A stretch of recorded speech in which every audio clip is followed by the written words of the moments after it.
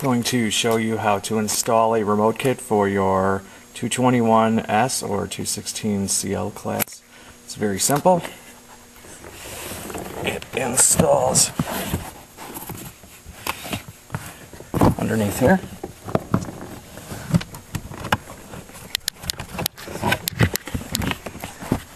Right behind this panel.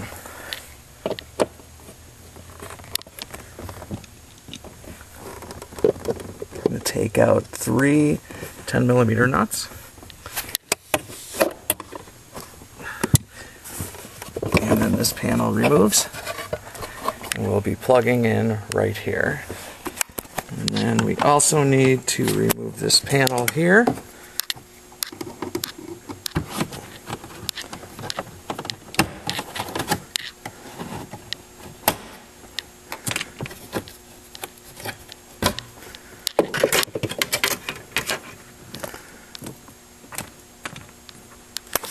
Now for the connections. Very simple. Power and ground, and then it connects into the CAN termination block. I'm Going to remove this bolt here.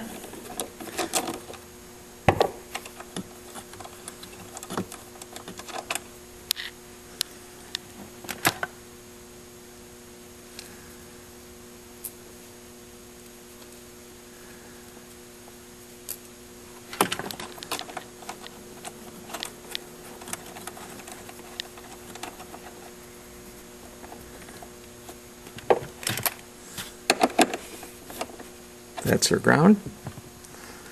Power is a fuse, which will pop right into the fuse block here.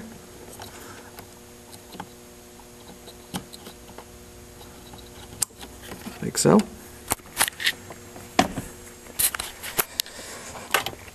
Once that's in, can plug the module in here.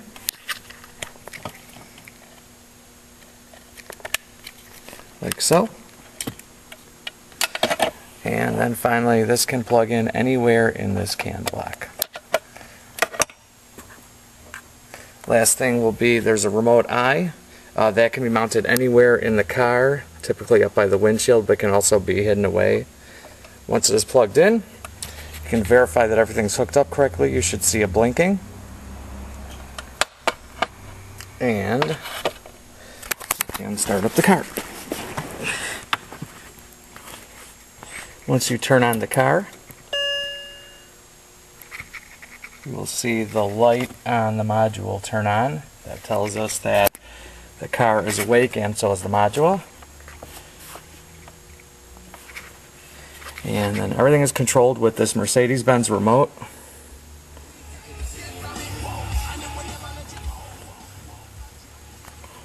This is a standard 2010 Mercedes remote.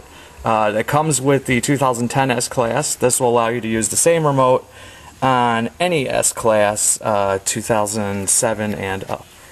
And as you can see,